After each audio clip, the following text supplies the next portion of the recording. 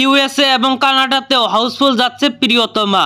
দেশ ছেড়ে এবার বিদেশের মাটিতেও জয় জয়কার সুপারস্টার শাকিব খান অভিনীত বহুল আলোচিত সিনেমা প্রিয়তমা। এই বিষয়ে হিমেল আশরাফ কি বলেছেন? জানাব সব কিছু বিস্তারিত। তবে তার আগে আপনি যদি চ্যানেলের নতুন দর্শক হন, তাহলে অবশ্যই চ্যানেলটি সাবস্ক্রাইব করুন আর ফেসবুক থেকে ভিডিওটি দেখে থাকলে পেজটি ফলো করুন। বিদেশে ঝড় তুলেছে প্রিয়তমা। ঢালিউড কিং শাকিব খান অভিনীত প্রিয়তমা সিনেমাটি যাচ্ছে সব জায়গায় হাউসফুল। পরিচালক হিমেল আশরাফ বলেন, গত পাঁচ বছর ধরে আমি নিউ ইয়র্কের বাসিন্দা। আমার অনেক বন্ধু সহকর্মী আপনজন থাকেন সেখানে। আমি জানতাম আপনারা আমার পাশে থাকবেন। বাংলা ভালো সিনেমার পাশে থাকবেন।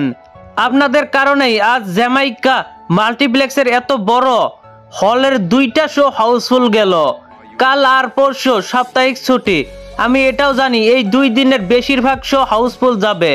শুধু নিউ ইয়র্ক না, আমেরিকা, কানাডার প্রায় সব হল থেকে অভূতপূর্ব সারা পেয়েছি আমরা। ভালোবাসা ছাড়া নয়তো কি? হিমেল আশরাফের কনফিডেন্ট খুব ভালো। গতকাল জ্যামাইকা মাল্টিপ্লেক্সের এত বড় হলের দুইটা শো হাউসফুল গেছে। এখন বুঝলেন তো কিং কাকে বলে? এখন বুঝলেন তো কিং ইজ অলওয়েজ কিং হিমেলের মতে শুধু নিউ ইয়র্ক না, আমেরিকা, কানাডার প্রায় সব হল থেকে অভূতপূর্ব সারা পেয়েছে প্রিয়তমা।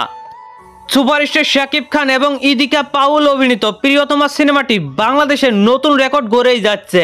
সারা বাংলাদেশের প্রতিটা হলের প্রতিটা শো হাউসফুল দিচ্ছে।